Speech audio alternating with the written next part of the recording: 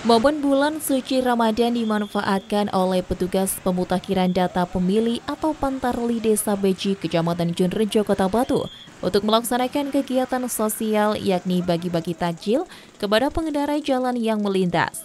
Pembagian takjil berlangsung di sekitar Jalan Raya Beji ketika menjelang berbuka puasa.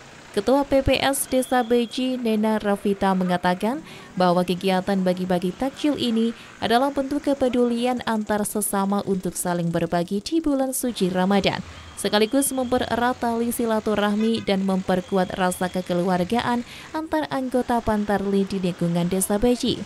Adapun dana yang diperoleh dalam pembuatan takjil ini murni dari kas anggota Pantarli Desa Beji, sehingga diharapkan momen bagi-bagi takjil ini menjadi berkah bagi yang menjalankan ibadah puasa.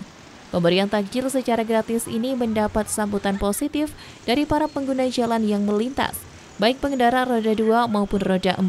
Mereka begitu antusias, bahkan rela antri untuk menerima paket takjil tersebut.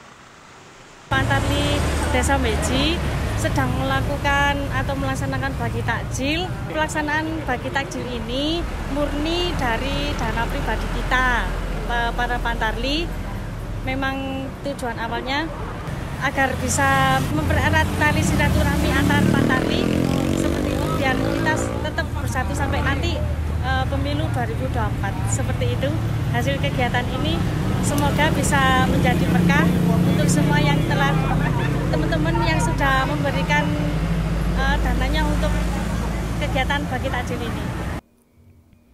Dari Kota Batu, Violan dan Joko Arif, ATV melaporkan.